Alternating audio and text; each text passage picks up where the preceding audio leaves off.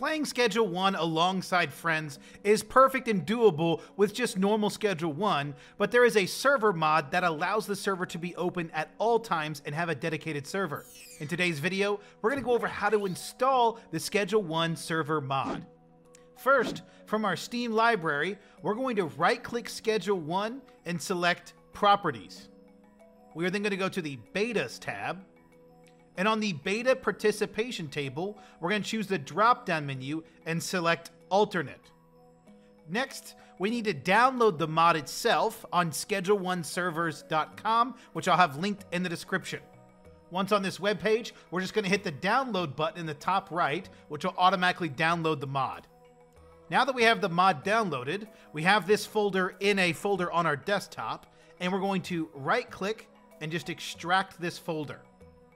Next, we're going to go back to our Steam library and we're going to right click Schedule 1, hover Manage, and choose Browse Local Files. Once we're in here, we're then going to take those extracted files that we took from the download and we're going to drag them into this folder, which is the local files for Schedule 1. Once we've done so, we can launch Schedule 1 and join a server. If you don't know how to join a server, I'll have a video linked in the description going over how to do so. Thanks for watching and check out bisecthosting.com, your ultimate gaming partner.